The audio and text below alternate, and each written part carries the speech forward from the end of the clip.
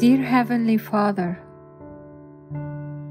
create in me a clean heart. Renew a loyal spirit within me.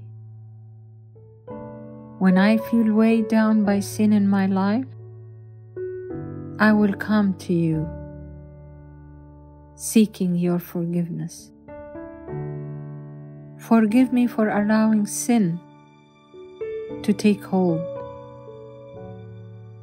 Thank you for the promise that you will never reject a broken and a repentant heart like mine.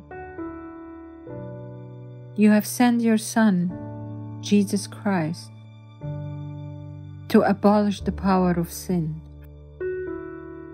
for me so that I may be forgiven.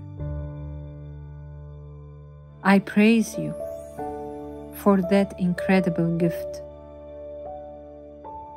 Lord,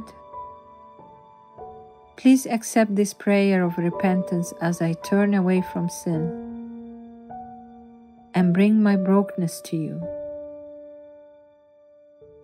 Thank you for making me whole again. In Jesus' name I pray. Amen.